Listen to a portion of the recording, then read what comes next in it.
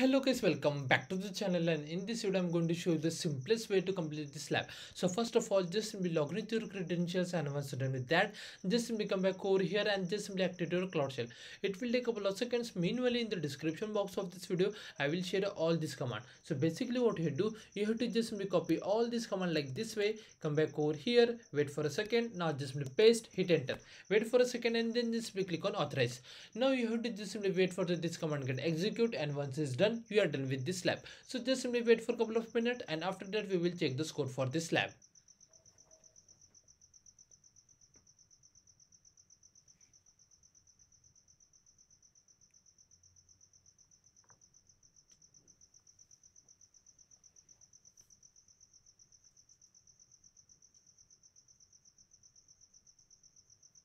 and it's finally done.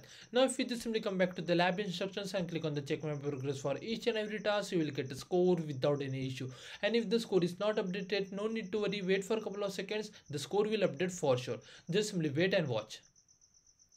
And as you can see it's done. And that's the way we have to complete this lab. If you still have any doubts please do let me in the comment section. Thanks for watching and have a good day guys